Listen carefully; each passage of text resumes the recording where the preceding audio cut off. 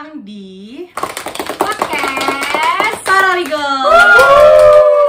Nah, kenalin kita nih Paralegal. Kita tuh berani nyebutin diri kita kayak gini karena kita emang bercita-cita buat jadi calon lawyer ibu kota. Amin Kenalin, gue Tania. Gue Acil Gue Taskia. Gue Talia. Gue Aldino. dan gua Akmal Nah by the way, tadi kan Tania ngomong kita calon lawyer ibu kota Nah lawyer itu apa sih guys sebenarnya? Hmm, lawyer tuh pengacara.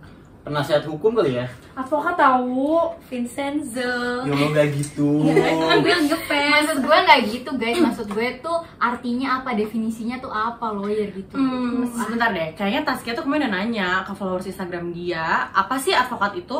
Iya sih, kemarin tuh gue udah nanya ke followers Instagram gue secara gue selebgram. Asia. ya udah itu kan jawabannya udah gue forward kan ke kalian semua. Jadi bisa diceki-ceki. Oke oke, gue bacain aja ya nih beberapa jawaban dari teman-teman.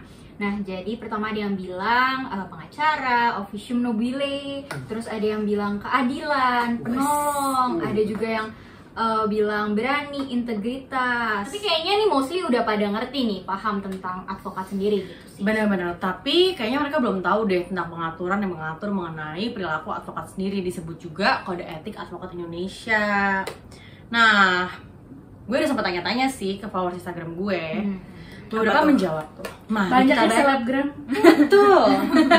Oke, mari kita baca. Let's.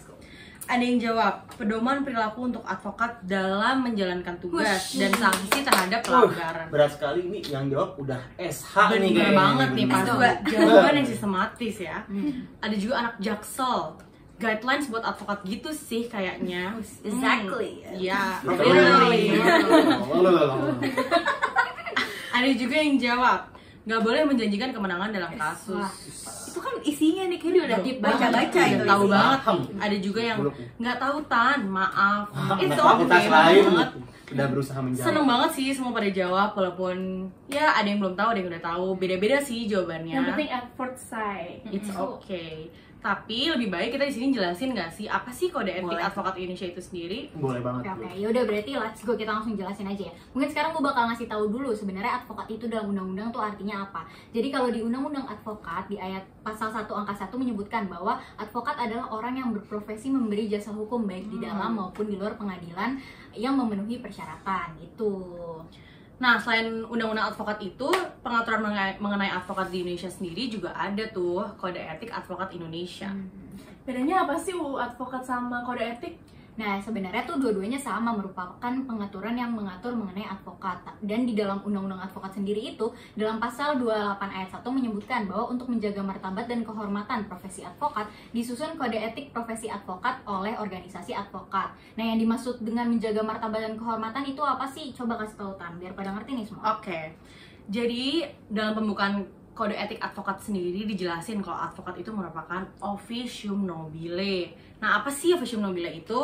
Nah, jadi advokat itu dalam menjalankan profesinya, dia itu dilindungi oleh pelindungan hukum. Nah, ada undang-undang dan kode etik profesi masing-masing.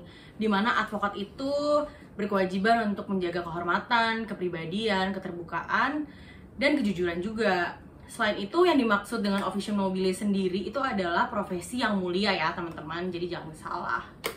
Oke, selanjutnya mau jelasin juga sih kalau sebenarnya advokat itu wajib banget setia dan menjunjung tinggi kode et- kode etik advokat sendiri.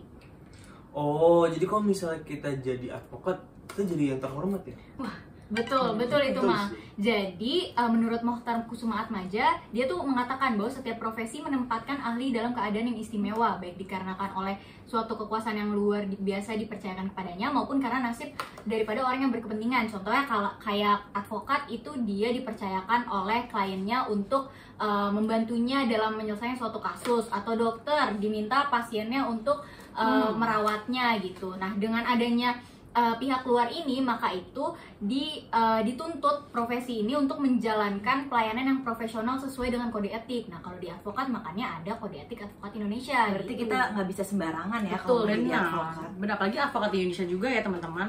Advokat di Indonesia sendiri diatur dalam kode etik advokat Indonesia, jadi nggak boleh asal dalam berperilaku ya. Dan juga kode etik ini mencerminkan sebenarnya hal-hal baik yang harus diadopsi dan dipraktikkan dalam kehidupan sehari-hari seorang advokat, di mana kode etik sendiri bertujuan untuk menjamin serta melindungi klien juga. Dan juga selain klien, negara dan pengadilan dan semua masyarakat itu akan dilindungi. Di mana ya sebenarnya tujuan kode etik tuh untuk melindungi semua pihak sih teman-teman. Cuman memang dispesifikan bagi setiap-setiap profesinya gitu loh. Emang nih kalau misalnya jadi advokat tuh harus berpegang teguh banget dan harus menjaga nama semua gitu ya. Benar. Kan juga profesi Cara kan. penegak hukum Benar. gitu Iya, betul. Udah pada paham belum sih? pinter banget Paham, sih. paham, paham. Paham, Paham, sih. paham, paham, paham. Tapi tapi tunggu tunggu bentar, gue mau mau tanya nih. Jadi kan kemarin gue tuh sempat baca berita gitu kan di salah satu media massa yang mengatakan kalau terdapat salah satu advokat itu kena kasus dan dia dilaporkan ke Dewan Kehormatan. Nah, Hmm. terus setelah dia dilaporkan ke Dewan Kehormatan ini, dia eh, seperti diadili gitu dan eh, mendapat putusan kalau semisal mendapat sanksi diberhentikan selama satu tahun oleh Dewan Kehormatan. Baru diberhentiin gitu dari iya, diberhentiin setahun dari Wah. oleh Dewan Kehormatannya. Nah, kalau misalkan terjadi hal-hal seperti itu tuh gimana ya? Jadi ya pastinya gini, setiap peraturan itu ada sanksinya. Dan tadi kan udah dijelasin sama Tania kalau misalnya kayak ini ada untuk uh, menjaga nama baik advokatnya itu untuk berperilaku kan. Nah, jadi kalau dia melanggar kayak ya pasti dikenakan sanksi gitu no. Benar-benar sanksi itu sendiri diatur juga loh teman-teman dalam kode etik. Bisa dilihat di sini ada di pasal 16 ya. Di sini. Mengenai sanksi-sanksi kepada advokat yang diatur khusus dalam kode etik advokat Indonesia sendiri. Gue penasaran nih sih sama arti Dewan Kehormatan yang Ano tadi singgung. Dewan Kehormatan itu apa sih?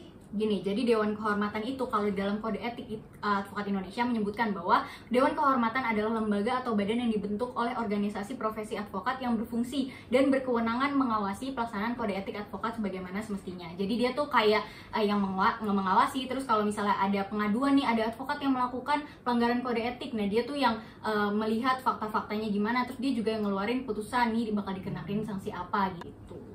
Aduh, Profesor Acel nih banyak banget nih risetnya Profesor ya. Atanya Ini dari. Profesor. Sama-sama. Ini Eh, ngerti gak sih dari main HP deh si Aku main HP. Gue lagi dong fokus mal fokus. gue lagi nyari tentang dewan kor Kehormatan. Dewan Dewan Kehormatan. Tuh kan kan, dia bisa. Ini nggak fokus nih. Saking Nggak sukanya fokus loh dia sama materinya. Crazy. gue lagi nyari tentang dewan kehormatan karena gue tertarik banget nih Ya keren-keren berarti pembahasan selanjutnya lo yang bakal jelasin tentang Dewan Nah, iya Kehormatan tuh, ya.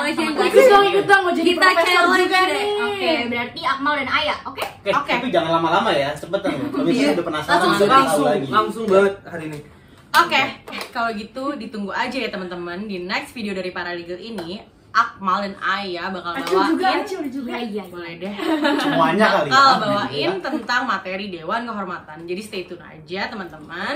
Sampai ketemu di next video. Bye bye. Kita akan gitu, kembali. Iya, maksudnya ngomong. Eh, Oh, keren juga. Menarik. Sepertinya menarik.